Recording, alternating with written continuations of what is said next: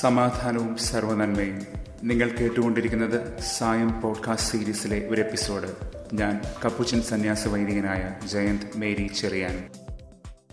സഭ സമാധാനത്തിലും ദൈവഭയത്തിലും പരിശുദ്ധാത്മാവ് പകരുന്ന സമാശ്വാസത്തിലും വളരുകയാണ് അപ്പോസ്റ്റർ പ്രവർത്തനം ഒമ്പത് മുപ്പത്തൊന്ന് മുതൽ നാൽപ്പത്തിരണ്ട് വരെ. ശ്രീഹന്മാരിലൂടെ സാധ്യമാക്കുന്ന രണ്ട് അത്ഭുത പ്രവൃത്തികൾ നാം ഇന്നിവിടെ കാണുകയാണ്. സുവിശേഷത്തിൽ നാഥൻ ചെയ്ത അത്ഭുതങ്ങളുടെ തനി ആവർത്തനം പോലെ ഇവ കാണപ്പെടുന്നു. ക്രിസ്തു ഇന്നും ജീവിക്കുകയാണ് ശിഷ്യരിലൂടെ. ഇന്നലെ യോഹന്നാൻ ആറ് അമ്പത്തൊമ്പത് പറഞ്ഞു നിർത്തിയത് ഇപ്രകാരമാണ്. അവൻ കഫർനാമിലെ സിനഗോഗിൽ പഠിപ്പിച്ചുകൊണ്ടിരിക്കുമ്പോഴാണ് ഇതൊക്കെ ചെയ്തതെന്ന്. ഇതുപോലെ തന്നെ കഫർനാമിൽ വെച്ച് ഒരു തളർവാദ രോഗിയെ നാഥൻ സുഖപ്പെടുത്തുന്ന ഭാഗമുണ്ട്. ലൂക്ക അഞ്ച് ഇരുപത്തൊമ്പത് മർക്കൂസ് രണ്ട് ഒമ്പത് യോഹന്നാൻ അഞ്ച് എട്ട്. അവിടെ അരങ്ങേറിയ അതേ കാര്യങ്ങൾ തന്നെയാണ് ഇന്ന് പത്രോസ് ഒരു തളർവാദ രോഗിയെ സുഖപ്പെടുത്തുമ്പോൾ നാം കാണുന്നത്. അതിനുശേഷം തബീത എന്നൊരു സ്ത്രീയെ അവൻ ഉയർപ്പിക്കുന്നുണ്ട്.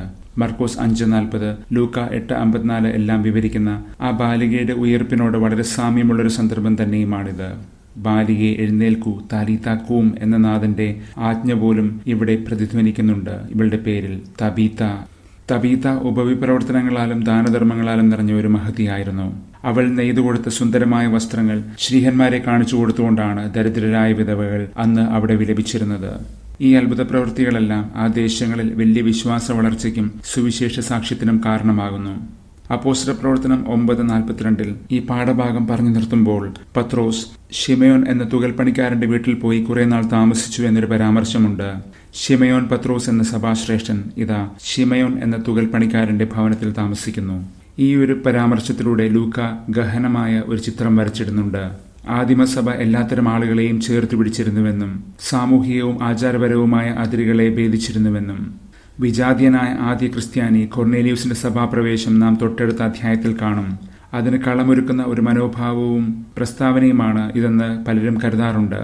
സഭ എങ്ങനെ ഐത്താചാരങ്ങളെയും യഹൂദ പരിമിതശീലങ്ങളെയും തകർത്തെറിയുന്നുവെന്ന്. യഹൂദ നിയമപ്രകാരം ആചാരപരമായ അശുദ്ധി ഉളവാക്കിയിരുന്ന ഒന്നാണ്. അതല്ല ആചാരപരമായ അശുദ്ധിയില്ല എന്ന രണ്ട് വാദങ്ങളുണ്ട് തുകൽപ്പണിയെ സംബന്ധിച്ച്.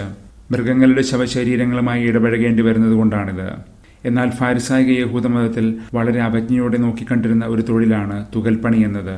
ആ പണിയുമായി ബന്ധപ്പെട്ട വൃത്തിഹീനതയും ദുർഗന്ധപൂരിതമായ സാഹചര്യങ്ങളുമാണ് അതിന് കാരണം. മാത്രമല്ല തൊഴിൽ സ്ഥലങ്ങളിൽ സ്ത്രീകളുമായി അടുത്തിടപഴകുന്ന വഷളന്മാരായിട്ടാണ് പൊതുവെ തുകൽപ്പണിക്കാരെ അവർ നോക്കിക്കണ്ടിരുന്നത് അങ്ങനെ വൃത്തിഹീനവും അധാർമികവുമെന്ന് മുദ്ര ചാർത്തപ്പെട്ട ഒരു തൊഴിൽ. ആ പശ്ചാത്തലത്തിലാണ് ഒരു തുകൽപ്പണിക്കാരനൊപ്പം സഭയിലെ മഹാനായ പത്രോസ് എന്ന ശ്രേഷ്ഠൻ സഹവസിക്കുന്നത്. ഇത് ശക്തമായ പ്രതിധ്വനികൾ ഉയർത്തുകയാണ്. വളരെ സുന്ദരമായ ചില നിരീക്ഷണങ്ങൾ ഈ പശ്ചാത്തലത്തിൽ തത്വചിന്തകർ കാഴ്ചവെക്കുന്നുണ്ട്. വംശീയ വിവേചനങ്ങളുടെയും കോളനിവൽക്കരണങ്ങളുടെയും ഭാഷയിൽ. കഴിഞ്ഞ ദിവസം നാം എത്യോപ്യൻ ഷണ്ടിന്റെ വിവരണം കേൾക്കുകയായിരുന്നല്ലോ. ആ പേരിൽ തന്നെ അവന്റെ തൊലിനിറം കോറിയിട്ടിരുന്നു. കറുത്തവനെന്ന്. അതുമായി ബന്ധപ്പെട്ട അകൽച്ചകളും നാം അതിൽ നിന്ന് വായിച്ചെടുക്കണം. വേറെ ഏതോ ലോകത്തു നിന്ന് വന്ന മനുഷ്യരെ പോലെയാണ് ഇവർ കാണപ്പെടുന്നത്. എത്യോപ്യക്കാരന് തന്റെ നിറം മാറ്റാനാകുമോ എന്ന് ചോദിക്കുന്നതും ഈ മുൻവിധിയുടെ മുഴക്കം തന്നെയാണ്. ജെറമിയ പതിമൂന്ന് ഇരുപത്തിമൂന്ന്. എന്നാൽ സുവിശേഷം ഈ അതിരുകളെല്ലാം മായ്ക്കുന്നു. വേറൊരു ചിത്രം കൂടിയുണ്ട് ഇതിൽ. യൂതായും കലീലിയയിലും ഇന്ന് ഈ അപ്പോസ്ത്ര പ്രവർത്തനങ്ങളിൽ കാണുന്ന പ്രദേശങ്ങളെല്ലാം റോമിന്റെ കോളനികളായിരുന്നു അക്കാലത്ത്. ഇങ്ങനെ റോമാക്കാർ കൈയടക്കി വെക്കുന്ന ദേശങ്ങളിലെല്ലാം അവർ വംശീയമായി ആളുകളെ വേർതിരിച്ച് തരംതിരിച്ച് ഭരിക്കുമായിരുന്നു. ചർമ്മങ്ങൾ മർമ്മപ്രധാനമാകുന്ന ഒരു രാഷ്ട്രീയ തന്ത്രമാണത്. ചില വംശങ്ങളും ഗണങ്ങളും അടിച്ചമർത്തപ്പെടുകയും വില കുറഞ്ഞവരായി കണക്കാക്കപ്പെടുകയും ചെയ്യണമെന്ന രാഷ്ട്രീയ ഭാഷ്യവും കടന്നുകയറ്റവും തന്നെയാണിത്. ഇത് എക്കാലത്തുമുണ്ട് ഇന്നുമുണ്ട്. മൃഗങ്ങളുടെ തോൽ നിരത്തിയിട്ടിരിക്കുന്ന ഒരു സ്ഥലത്ത് പത്രോസും മറ്റും പോയി നിൽക്കുമ്പോൾ അവർ പ്രതിനിധാനം ചെയ്യുന്ന ഒരു ജനക്കൂട്ടത്തിന്റെ അപമാനിതമായ അവസ്ഥകളെ കൂടി അവിടെ സൂചിപ്പിക്കപ്പെടുന്നുണ്ട്. മനുഷ്യത്വം നിഷേധിക്കപ്പെട്ട് തൊലിയുരിയപ്പെട്ട ഒരു ജനതയുടെ കാഴ്ച. ഇഷ്ടമില്ലാത്ത മനുഷ്യരെ മൃഗങ്ങളായി കണ്ട് കൈകാര്യം ചെയ്യുന്ന അധികാര വ്യവസ്ഥയുടെ പരിച്ഛേദം പോലെ. മാത്രമല്ല തുകലെന്നത് റോമൻ സൈനിക വ്യവസ്ഥയ്ക്ക് ഏറ്റവും അവിഭാജ്യമായിരുന്ന ഒരു വസ്തുവായിരുന്നു അത്രേ. പുരാതന കാലത്തെ പ്ലാസ്റ്റിക്കാണ് തുകൽ. സൈനികരുടെ പാദരക്ഷകളും പടത്തൊപ്പികളുടെ കെട്ടും കുതിരകളുടെ കടിഞ്ഞാണം മുതൽ അസംഖ്യം കാര്യങ്ങൾക്ക് തുകൽ ആവശ്യമായി വരുന്നു. കണക്കറ്റ രീതിയിൽ അതിനാൽ തുകൽ സംസ്കരിക്കപ്പെട്ടിരുന്നു. അത്ര ബൃഹത്തായിരുന്നു റോമൻ സൈന്യനിര അവരുടെ പടയേറ്റങ്ങളും. ഇന്നിതാ ഒരു തുകൽ പണിശാലയിൽ ഷെമിയോൻ പത്രോസ് നിൽക്കുമ്പോൾ അത് അവൻ റോമിന്റെ നേരെ നടത്തുന്ന ഒരു കയ്യേറ്റം തന്നെയായി നമുക്ക് മനസ്സിലാക്കാനാകും. ഇതൊരു ചെറു ചുവടായിരിക്കാം. പക്ഷേ ഇനി അങ്ങോട്ട് അവൻ ചുവട് വെച്ച് റോമ അവന്റെ മുൻപിൽ ഞെരിഞ്ഞമരുന്ന ചരിത്രപാഠം കൂടി നാം ഇതിനോട് ചേർത്ത് വായിക്കണം. അങ്ങനെ ചിന്തിക്കുമ്പോൾ ലൂക്ക പരാമർശിക്കുന്ന ഈ ഒറ്റപ്പെട്ട കാര്യം അത്ര നിസ്സാര കാര്യമല്ല. സാമ്രാജ്യത്വ ശക്തികൾക്കെതിരെ ആഞ്ഞടിക്കുന്ന പ്രവണത അല്ലെങ്കിലും വളരെ സ്പഷ്ടമാണ് ലൂക്കായുടെ കൃതികളിൽ. യഹൂദ മത നേതൃത്വത്തിന്റെ സ്ത്രീവിദ്വേഷപരമായ പുരുഷ പ്രാമാണികത്വം മിസോകൈനസ്റ്റിക് പേട്രിയാർക്കി അതിന്റെ കടക്കൽ വെട്ടാനും ഇവിടെ ലൂക്ക മറക്കുന്നില്ല. ഇന്ന് സഭാ പണ്ഡിതയായ സി എൻ ആയ വിശുദ്ധ തിരുനാൾ ദിനം കൂടിയാണ്. അപ്പോൾ ഈ ചിന്തകൾ വളരെ പ്രസക്തമാകുകയാണ്. അനിർവചനീയമായ ധ്യാനങ്ങളുളവായ ഒരു മിസ്റ്റിക് എഴുത്തുകാരി എന്നൊക്കെ നാം അവളെ പരിചയിച്ചിട്ടുണ്ട്. പതിമൂന്നാം നൂറ്റാണ്ടിലെ ഒരു ഡൊമിനിക്കൻ സന്യാസിനി. എന്നാൽ നാം പതിഞ്ഞ ശബ്ദങ്ങളിൽ മാത്രം പറഞ്ഞു പോകുന്ന പല കനത്ത ഇടപെടലുകളും നടത്തിയിട്ടുള്ള വ്യക്തിയാണ് മിസ്റ്റർ കത്രീന. അവൾ എഴുത്തുകൾ പടവാളാക്കിയവളാണ്. വ്യക്തിഗതമായ എഴുത്തുകൾ പേഴ്സണൽ ലെറ്റേഴ്സ് അവൾ വലിയ വിദ്യാഭ്യാസം ലഭിച്ചവളായിരുന്നില്ല. അതുകൊണ്ട് തന്നെ അവളുടെ എഴുത്തുകളിൽ സംസാര ശൈലിയുടെ തീവ്രതയുണ്ടായിരുന്നു അത്രേ. ശക്തമായ അനുഭവങ്ങളെ അവൾ അതിൽ ആവിഷ്കരിച്ചു ആത്മീയ അധികാരത്തിൽ നിന്നുളവാകുന്ന രാഷ്ട്രീയ ശക്തി അതിന്റെ അപജയം നടമാടിയിരുന്ന ഒരു കാലത്ത്. മാർപ്പാപ്പമാർ നാട്ടുരാജ്യങ്ങളുമായി ശണ്ട കൂടിയിരുന്ന ആ കാലത്ത്. മാർപ്പാപ്പമാർ റോമ വിട്ട് അവിഞ്ഞോണിൽ പ്രവാസത്തിലായിരുന്ന ആ കാലത്ത് അവൾ ശക്തമായി എല്ലാവരെയും താക്കീത് ചെയ്തു. ലോകത്തിന്റെ ഭരണാധികാരികളെയും സഭാധികാരികളെയും.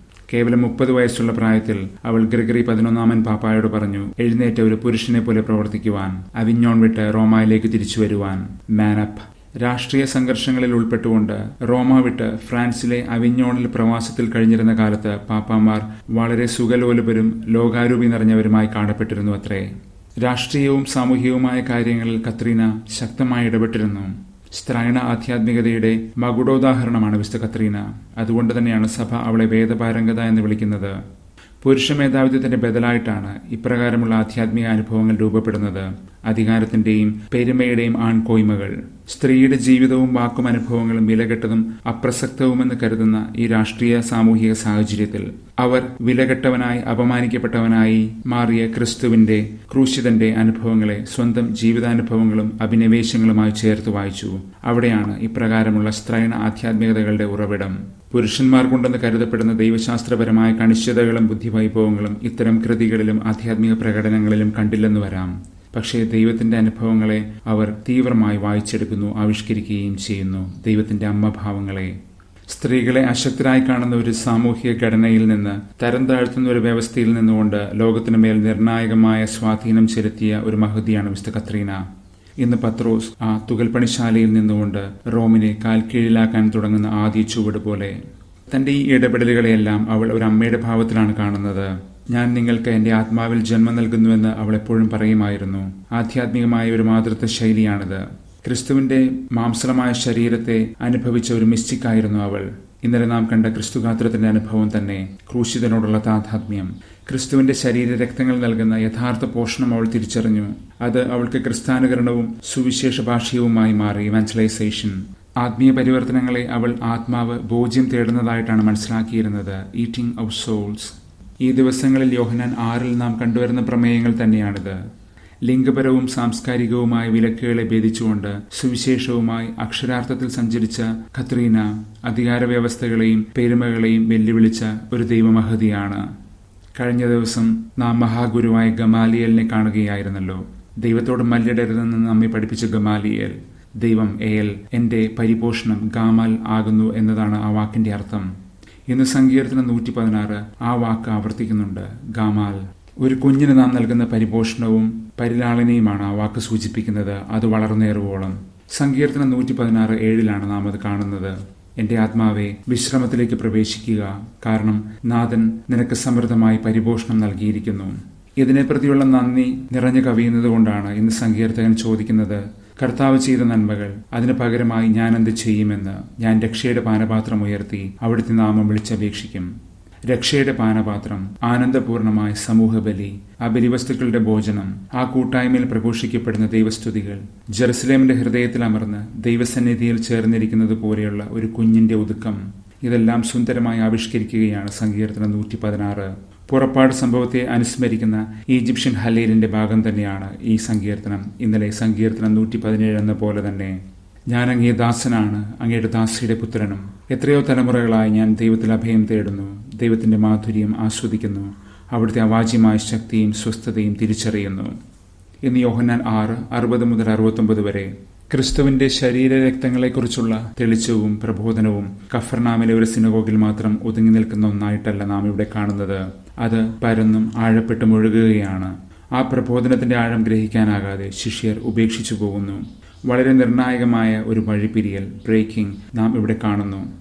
വ്യാജ ശിഷ്യന്മാരുടെ രണ്ടുതരം മനോഭാവങ്ങളെ നമുക്കിവിടെ കാണാനാകും. ഒന്ന് ശിഷ്യത്വത്തിന്റെ ആഴം ഗ്രഹിക്കാൻ മടിച്ചുകൊണ്ട് വഴിമാറിപ്പോകുന്നവർ. രണ്ട് ശിഷ്യത്വത്തിന്റെ ആഴം തിരിച്ചറിഞ്ഞിട്ടും അതിൽ ശ്രദ്ധാപൂർവം ജീവിക്കാൻ മടിക്കുന്നവർ. കപടനാട്യക്കാർ.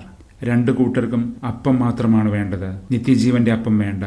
ഈശോയുടെ ശരീരരക്തങ്ങൾ പഠിപ്പിച്ചു തരുന്ന ആഴമേറിയ ജീവിത നിയമങ്ങൾ അവർക്ക് സ്വീകാര്യമല്ല. ലോകക്രമത്തെ മാറ്റിമറിക്കുന്ന അവന്റെ ശരീരരക്തങ്ങളുടെ പങ്കുചേരൽ അവരെ അകറ്റി നിർത്തുന്നു. കാരണം അവർക്ക് ലോകക്രമമാണ് മുഖ്യം.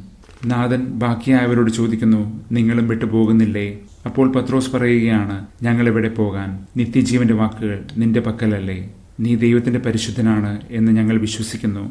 സാധാരണയായി യേശുനാഥൻ തന്നെ തന്നെ വെളിപ്പെടുത്താറുണ്ട് ഞാൻ ആകുന്നു. ഏഗോ എയ്മി ഐ ആം എന്ന വാക്കുകളിൽ തന്റെ ദൈവിക ഭാവങ്ങളെ. അതിനോടുള്ള സഭയുടെ വിശ്വാസത്തിന്റെ പ്രതികരണം എന്നോണം ഇന്ന് പത്രോശ്രീഹ പറയുകയാണ് നീയാകുന്നു എന്ന് പറഞ്ഞുകൊണ്ട് യു ആർ സു എ ക്രിസ്തീയ വിശ്വാസം എന്നത് ക്രിസ്തുവുമായുള്ള ഈ വ്യക്തിപരമായ ഗാഠമായ ബന്ധത്തിൽ നിന്നുളവാകുന്നതാണ്. ക്രിസ്തുവിലൂടെയാണ് നാം ദൈവത്തെ കാണുന്നത്. ആ കാഴ്ചയിൽ നിന്ന് നാം ക്രിസ്തു ശരീരത്തെ തന്നെ കാണാൻ തുടങ്ങുന്നു. തൊലി നിറങ്ങളുടെ വ്യത്യാസമില്ലാത്ത ക്രിസ്തു ശരീരത്തെ